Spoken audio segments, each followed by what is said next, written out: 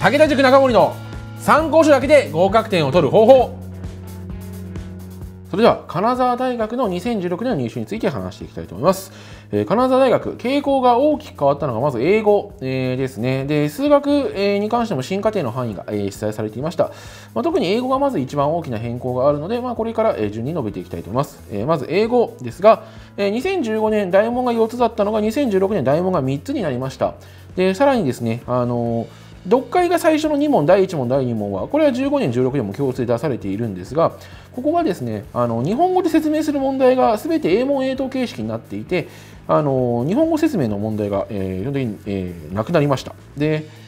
なので、えー、まあ、今まで以上に英作文の能力、えー、という部分が非常に、えー、要求されるようになったと。で、さらに、えー、大問3、4が、えー、英作文2題だったのが、これが1問に、えー、なりまして、まあ、空所補充や、えー、短めの重英作文、和文英訳などが出ていたのが、重英作文長い125の、えー、1問、えー、という形になりました。これちょっと大きな、えー、形式変更という形になりますので、まあ、ちょっとこの形式に合わせた対策をする必要があるかなと思います。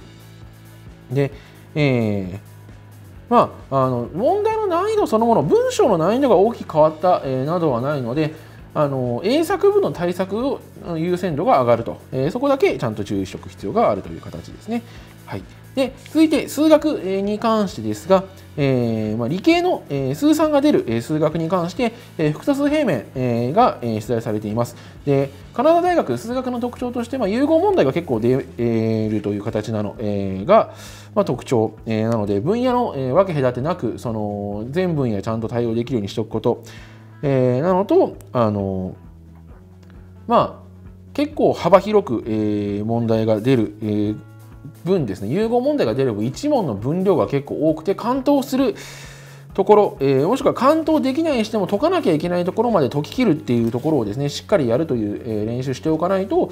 まあ、かなり、えー、きついかなという難易度になっています。まあ、あの人間社会学域に関しては、まあ、割と標準問題、えー、になってますので、こちらは、まあえー、しっかり、え、標準レベルの問題記述で書けるようにやっておけば、えー、大丈夫かなと思うんですけれども、まあ、理理教えー、理工やあの医療保険学域に関しては、まああのかなり過去問やり込んで、まあ、あと融合問題の対応をちゃんとしておかないと、まあ、きついかなという問題になっています。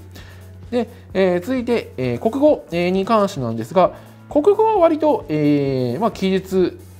の、えー、記述論述の対策しておけば割と、えー、オーソドックスな、えー、形式の対応で、えー、十分対応できるかなというふうに思います。なので、まあ、特別、えーまあ、変わった対策を、えー、する必要なくて、まあ、センターや、えー、マーチ程度の対策やった上で論述対策一冊ちゃんとやって過去問をしっかり仕上げておけば、えー、十分かなというふうに思います。まあ、あの形式も特に大きく変わったえ部分はないので、まあ、例年通りの対策しておけば十分でしょう。で、えー、理科に関してですが、理科に関しても特別、えー、大きく変わったところはない。まあ、生物が進化程でやはり範囲が大きく動いてますので、そこに関しては進化程対応になっているという側面はありますが、まあ、出され方、えー、等に関しては、まあ、例年通りの、えー、形式と、えー、なっています。で、えー、物理、えー、に関しては、まあ、あの結構読み取らなきゃいけない難問が、えー、出てくると。問題が純粋に計算が多いとか、えー、考える時点で結構しっかり考えなきゃなみたいな、え部分が出る問題と割と難易度高めの問題が出ますで、えー、になっていますので、まあ、あの結構自分で思いついて式作るっていうところの練習は徹底的にやっておかないとという形ですね。で、科学に関してですが、かなり量が多い形式となっています。またで、計算や論述も結構しっかりやっておかなきゃいけないという形になってますので、解くスピードプラス、まあ、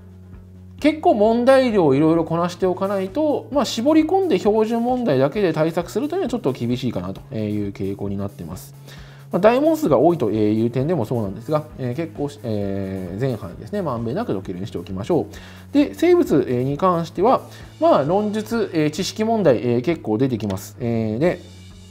まあ、あの知識さえあれば解けるような論述だけじゃなくてちゃんとその場で読み取らなきゃいけない考えなきゃいけないものも、えー、割と出てきますので、えー、基本的に、え全分野まんべんなくできないと、え厳しいかなという傾向に、えなっています。で問題集そのものに関しては、まあ、標準的な問題をしっかりやる。で、プラス論述の対策の参考書、まあ、1冊はしっかりやっておいた方がいいかなという形ですね。